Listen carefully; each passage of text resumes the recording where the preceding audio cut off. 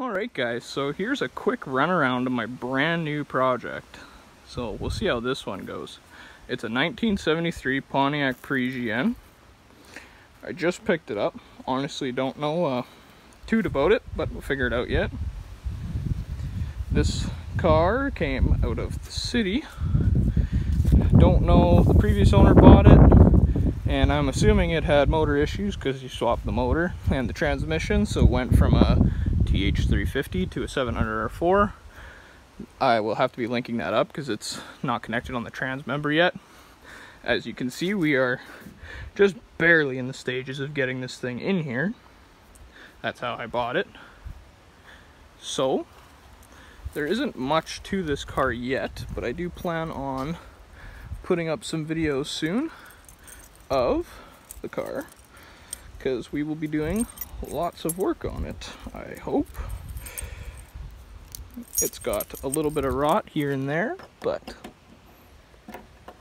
overall, not too terrible.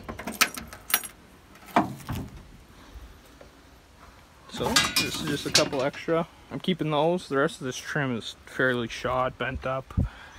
We got a little hole, but that's that's all right.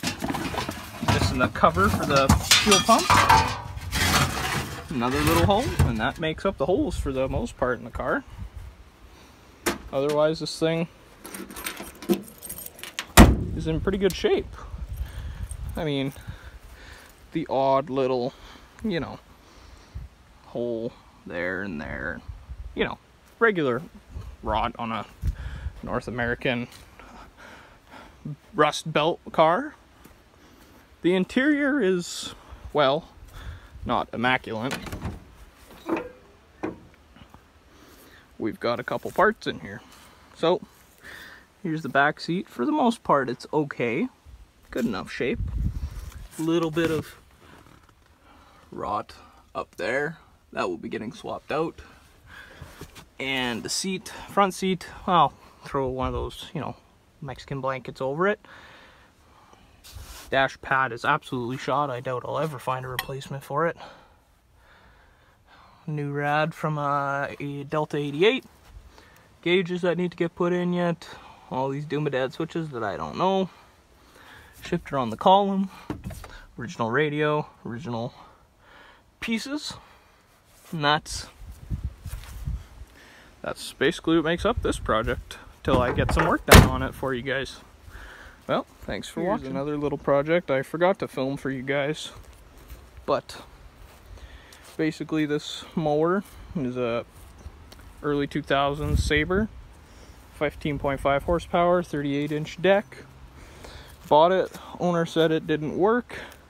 Couldn't get it to start because it would turn over and it would get stuck. And then the starter couldn't twist it over, so new starter, new solenoid, new ignition switch or you know ignition.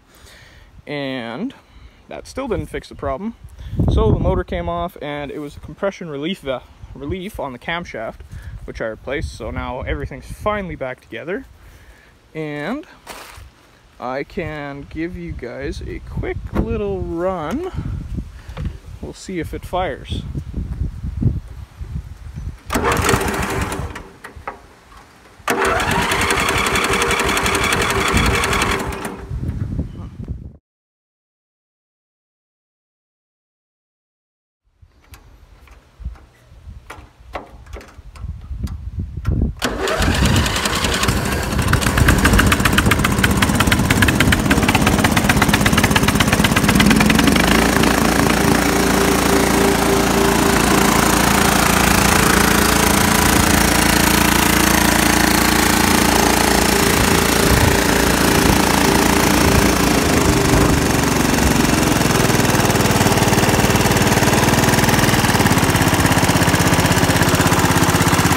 does have a bit of an air issue that I have to open up the air valve a little bit because it won't run without the cap and I forgot that. That was my bad, but here you go.